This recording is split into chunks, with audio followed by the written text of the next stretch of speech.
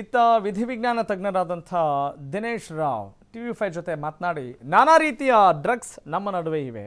ಕೆಲವೊಂದು ಡ್ರಗ್ಸ್ ತೆಗೆದುಕೊಂಡ್ರೆ ಮೂತ್ರ ಹಾಗೂ ರಕ್ತದಲ್ಲಿ ವಾರಗಟ್ಟಲೆ ಅಂಶಗಳು ಇರುತ್ತವೆ ಅನ್ನುವ ಒಂದಿಷ್ಟು ಮಾಹಿತಿಯನ್ನು ಕೂಡ ಶೇರ್ ಮಾಡಿಕೊಂಡಿದ್ದಾರೆ ಟಿ ವಿ ಫೈವ್ ಜೊತೆ. ಫಸ್ಟ್ ಇವರು ಈಗ ಅವರು ಕನ್ಸಂಪ್ಷನ್ ಆಫ್ ದ ಡ್ರಗ್ ಅಂತ ಏನ್ ಬರುತ್ತೆ N D P S act ಪ್ರಕಾರ? ಹಾಂ. ಅದ್ರ ಪ್ರಕಾರ ಈಗ ಅವರು ಏನಾದ್ರೂ ಕನ್ಸ್ಯೂಮ್ ಮಾಡಿದ್ರೆ ಈಗ ಇಲ್ಲ ಮುಂಚೆ ಒಂದು ಕೆಲವು ವಾರ ತಿಂಗಳ ಮುಂಚೆ ಏನಾದ್ರೂ ಕನ್ಸ್ಯೂಮ್ ಮಾಡಿದ್ರೆ ಆ ಬ್ಯಾನ್ ಸಬ್ಸ್ಟೆನ್ಸ್ ಅನ್ನ ಇರ್ತೀವಿ ಅದನ್ನೇನ ಕನ್ಸ್ಯೂಮ್ ಮಾಡಿದ್ರೆ ಈಗ ಅವರಲ್ಲಿ ಬ್ಲಡ್ ಮತ್ತೆ ಯೂರಿನ್ ಮತ್ತೆ ತಗ್- ತಗೊಳ್ತಾರೆ. Okay. So that is and also hair follicle test ಅಂತ ಏರ್ ಫಾಲಿಕಲ್ಸ್ ತಗೊಳ್ತಾರೆ. ಓಕೆ.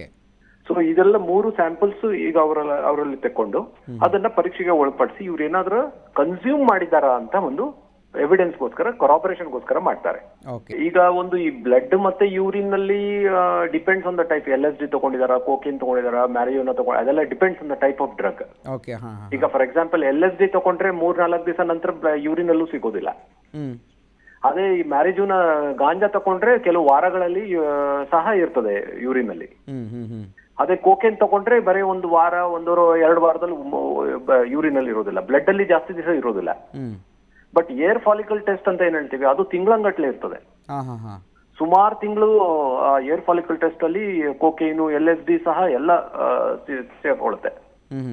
ನೋಡಿ ಎಲ್ಲದಕ್ಕಿಂತ ಇಂಪಾರ್ಟೆಂಟ್ ಏನಂದ್ರೆ N D P S act ಪ್ರಕಾರ ಬರೀ ಕನ್ಸ್ಯೂಮ್ ಮಾಡಿದ್ರೆ ಒಂದು ಎವಿಡೆನ್ಸ್ ಅಷ್ಟೇ.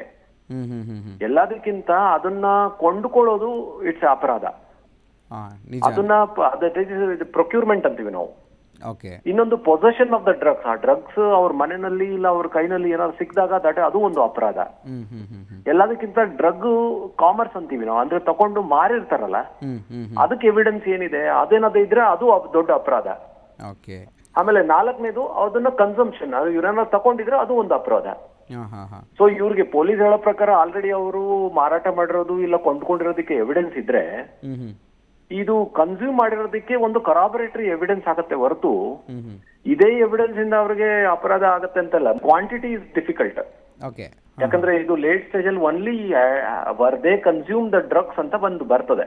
ಹಾಂ ಬಟ್ ಎಷ್ಟು ಕ್ವಾಂಟಿಟಿ ಕನ್ಸ್ಯೂಮ್ ಮಾಡಿದಾರೆ ಅಂತ ಈ ಹಂತದಲ್ಲಿ ಹೇಳಲಿಕ್ಕೆ ತುಂಬಾ ತಿಂಗಳುಗಳ ನಂತರ ಹೇಳಲಿಕ್ಕೆ ಅಸಾಧ್ಯ. ಹೌದು. ನೋಡಿ ಫಸ್ಟ್ ಇವ್ರ ಈಗ ಅವರು ಕನ್ಸಂಪ್ಷನ್ ಆಫ್ ದ